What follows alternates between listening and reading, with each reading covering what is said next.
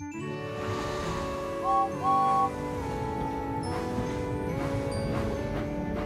んにちは。みんな元気？私の名前はニア。アフリカのケニアから来たタンク機関車よ。今はソドー島に長く住んでいるけど故郷を誇らしく思ってるわ。私にとってアフリカがどんなに大切な場所なのかお話しするわね。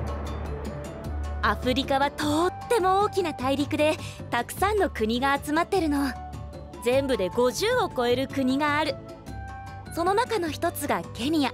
私の故郷よ。ケニアがあるのはアフリカの東海岸。いろんな景色が見られる場所なの。高い山やサバンナという草原。動物もゾウやライオンサイなどたくさんいる。それに大きな町がいくつもあるわ。ナイロビがケニアの首都よ。賑やかに栄えてる町で素敵な建物やワクワクすることがたくさんある。私は東アフリカ鉄道にいたの。貨車の入れ替え作業をしたり荷物を運んだりケニアからアフリカのあちこちまでたくさんの素敵な場所にね。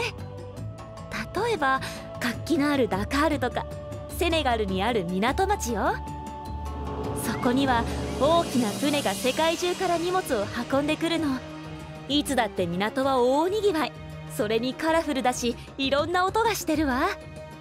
荷物は貨車に積み込まれて私のような機関車に運ばれる。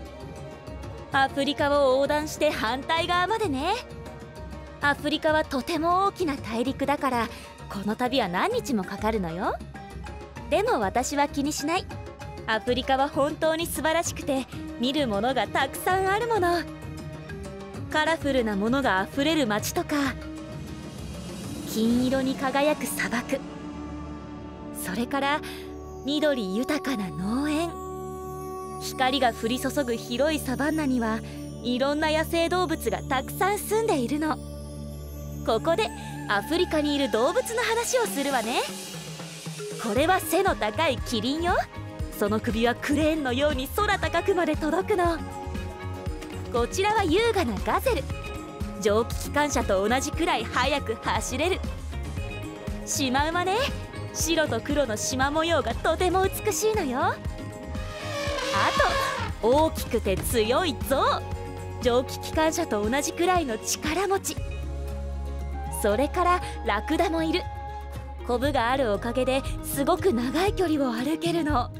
水を飲まなくてもね。私が大好きな町の一つはダルエスサラーム。タンザニアという国にあるの。ここでは仲良しのクアクに会える。クアクはとにかく大きな機関車。私を3つ並べたよりも大きいわ。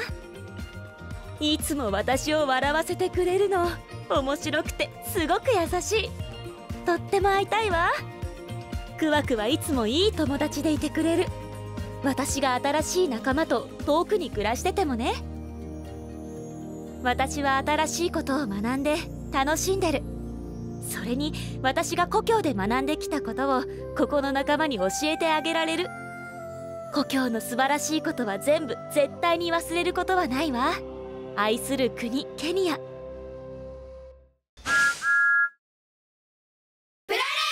みんなも一緒に歌ってみよう。